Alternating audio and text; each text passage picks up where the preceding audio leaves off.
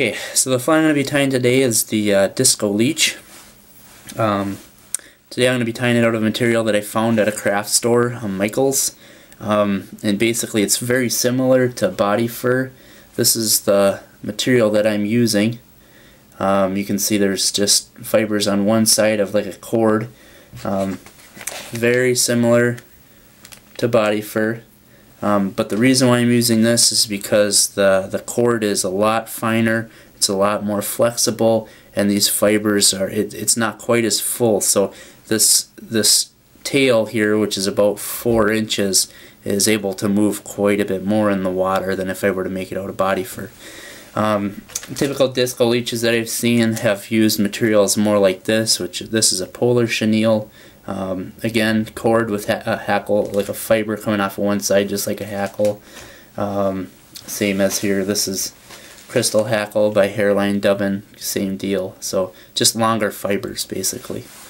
So I'll get to tying it.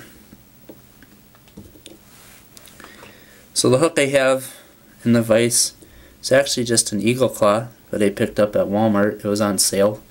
I believe it was about dollar two dollars for 25 hooks. And uh, you know they're they're not a bad hook. The, they're they're kind of there's a lot of variability in between each one you know as far as like the hook point and the size of the barb and whatnot.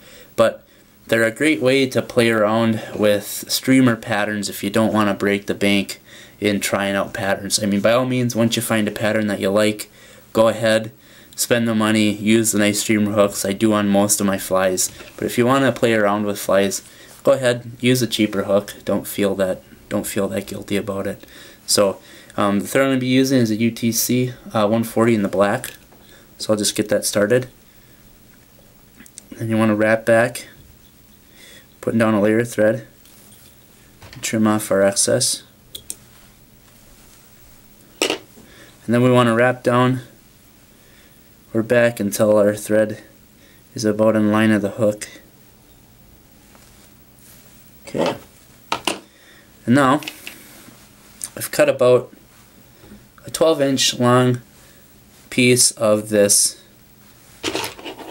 this material that I bought at Michael's and I forgot to mention these skeins I mean when you buy this material as opposed to getting just a small package uh, like this of body fur, you get a whole skein.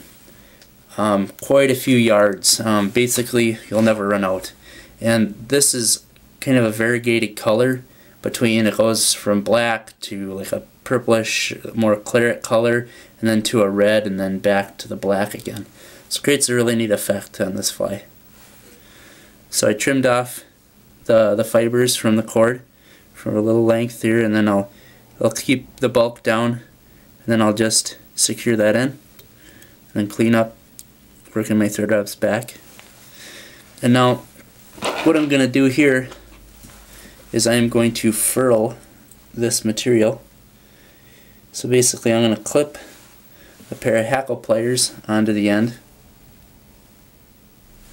And I'm going to stretch this material out. And then all I'm going to do is put some twist into this material. And now the tighter you make these twists, um, or the more twist you put into this length here, the tighter it's going to furl. But keep in mind, this is something that I found, the tighter I furl it, um, the more stiff the material gets. So you just kind of want it enough so that it'll furl together um, fairly tight without a lot of gaps. And now what I'm going to do is I'm going to pick a point about about as long as I want the body, which I'm going to say about three and a half, four inches. Then I'm going to double it back on itself. And now all I'm going to do is let go of this end and it'll twist together. Now that's not coming apart. That's going to stay twisted together nice and tight. And that, that forms the tail of this fly. So now I'm just going to clear out some of the fibers here and then tie that in.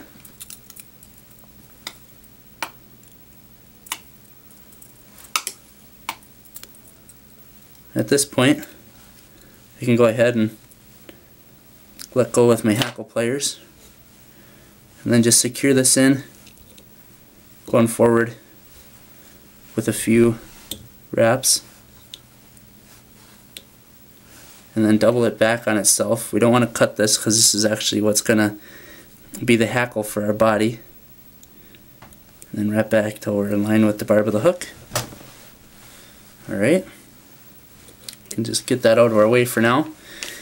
You know, um, you could just make this a really easy fly and wrap this forward touching turns to create a body and you'll end up with something like something like that.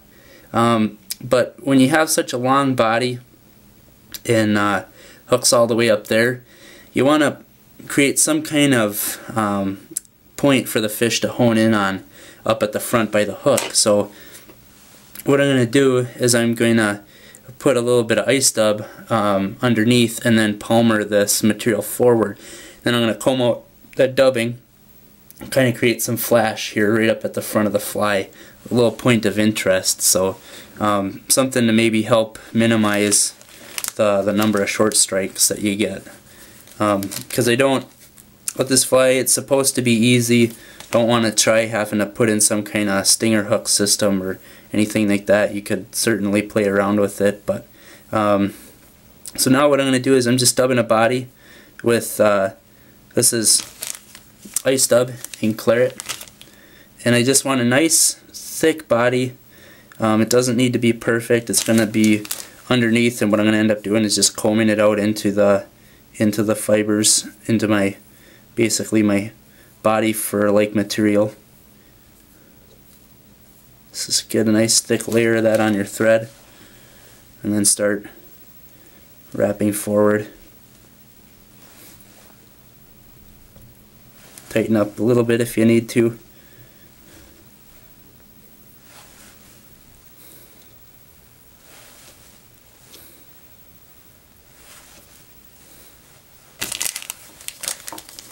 Just a little bit more. We want to work this dubbing forward till we're about two millimeters behind the bead because I'm going to put a rabbit hair collar in using a using a dubbing loop, which I'll show you.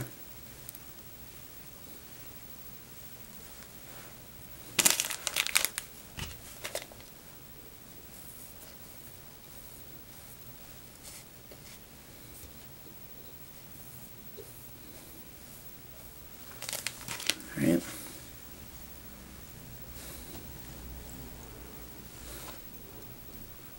And that should be good enough.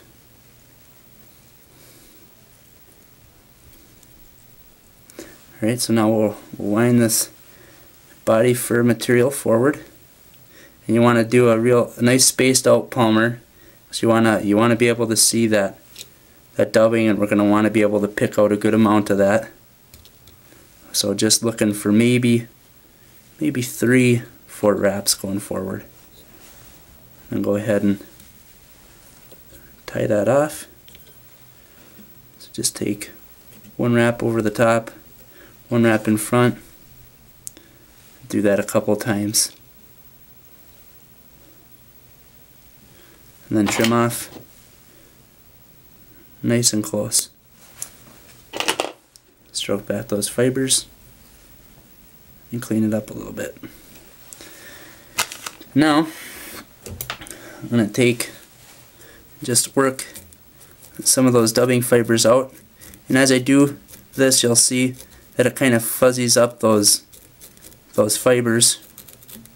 And that's good. It'll help it kind of marry a little bit more in the water. These won't marry completely in the water each of these little clusters of strands. Um, but that's okay. It creates a nice leggy really buggy weird kind of look in the water and um, when I was using this for bass they really seemed to dig it so so just comb some of that out and for my dubbing brush, all I really have is a little piece of uh, adhesive Velcro attached to a popsicle stick. So if you don't want to have to buy one, you can go ahead and do this route quite a bit cheaper. Alright, so now we're ready to do the dubbing loop. So if you haven't ever tried this, basically what you do is you take and you let out a bunch of thread.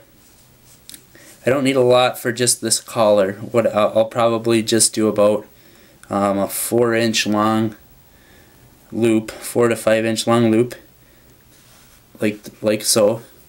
Um, and now I'm going to take my thread and then I'm just going to wrap a few wraps right onto my hook shank. And now that locks in this loop. And now I can just let that hang. And I have a dubbing loop tool with a spinner attached to it. If you don't, if you haven't done dubbing loops or anything like that, you don't need to go out and buy one of these tools. You can accomplish the same thing, um, and it's what I used for the longest time, was just a piece of dowel with a cup hook in the end. If you decide you like to use uh, dubbing loops, they're uh, they're kind of a neat thing for for making streamer patterns and whatnot. You can go go ahead and buy one of those tools. But if you just want to mess around, a dowel with uh, with cup hook is plenty good enough. So now I'm gonna take and I'm gonna clip some some rabbit hair off of a hide. This is a zonker strip. So I'm gonna take and only take as much as I can handle between my thumb and forefinger without losing any fibers. So I'm just gonna go ahead pinch that between my thumb and my forefinger.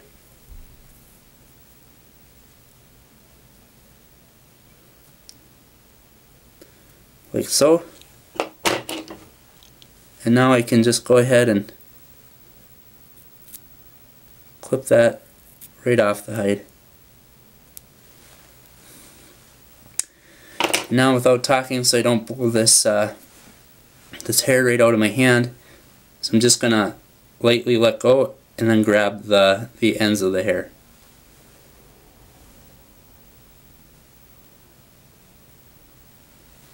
Alright, now I'm going to open up this loop that I made. I'm going to put those cut ends right in between and let it let the thread sandwich it. And now I'm going to lightly pull that so that the cut ends are real close. Um, to the end. And then you can go ahead and space these out along that dubbing loop that you made. Like so. And now you're ready to give it a spin. And as you spin it, uh, the tighter you spin it, the harder, uh, or with the more, the more force it's going to trap the ends of those those those rabbit hair fibers in. So just wrap it nice and tight. And now you can basically wind this just like a hackle. You just get the fibers kind of to one side best you can. I'm going to use the rotary feature on my vise to do this. Just going to wrap forward or keeping one turn right in front of the other. And after every turn I'm just going to sweep back those hair fibers.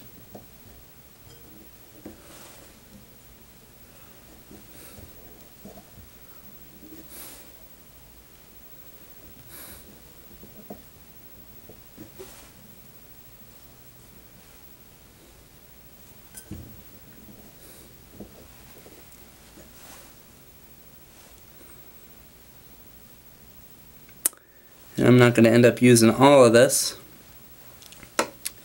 So you can go ahead and just move your your bobbin holder out of the way. Come up and over the top. And just lock that down with a couple of wraps. Just kind of forgetting about the fibers for now. And then trim that off nice and close. Take away any loose fibers. Stroke that back.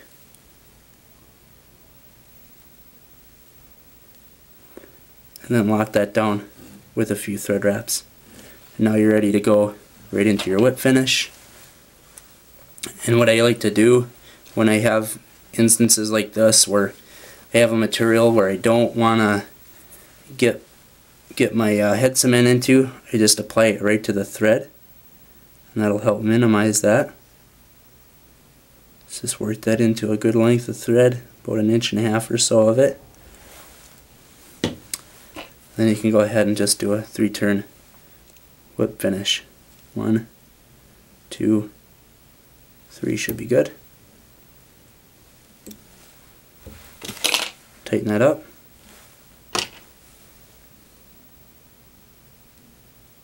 Give it a, give it a clip, and there's your fly. So, a lot of room for variations on this fly. Um, a lot of different materials you could use. I imagine you could even use like a cactus chenille. Again, just uh, keep in mind certain certain materials are going to move better than others. Um, I really like this material because of the variation in the color. Um, and again, just to kind of help out with with these fibers and the movement, you can kind of brush out this whole length of tail that you have. And uh, that'll just kind of help the fly in the water a little bit. So hope you enjoyed this pattern. It's uh, very reminiscent of some of the plastics that are out there for bass and whatnot. So um, go ahead, give it a whirl, and I hope it catches you fish.